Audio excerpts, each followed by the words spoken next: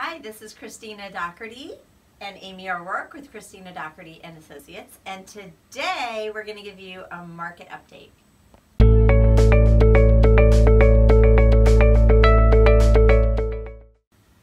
Happy St. Patrick's Day from the O'Rourke team. We thought we'd get our Irish on uh, and combine our names. So, um, but in addition to us being fun, we are going to go through Fairfax County's market conditions as well as Western Fairfax for those of you that live around us. So, Amy, what's going on in Fairfax County? It is a strong market up there, out there. Had too much fear. so our active inventory is down 24% from last year at 101 million, what 1,908 units and and this is for all of Fairfax County. And our monthly supply is at two about two and a half months, which is also down about 20% down. So that's all over Fairfax County, 20% down from last year.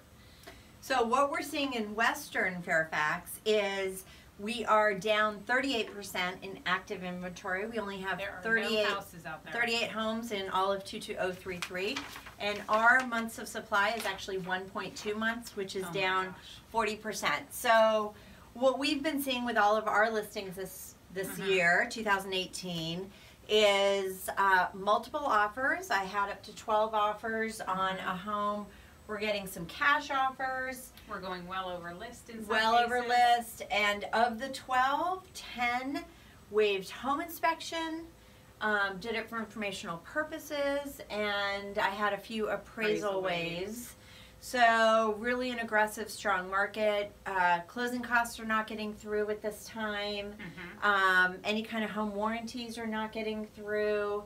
And so it's really tough for buyers right now. So put your best foot forward. Um, if you're, think, if you're thinking of selling, yes, if you're thinking of selling, time to sell. Very good time. So, as always, happy to bring you valuable information to help you make good decisions. You can reach us at our website right up here, www.getkeyedup.com. And we've had fun being the O'Rourke team today.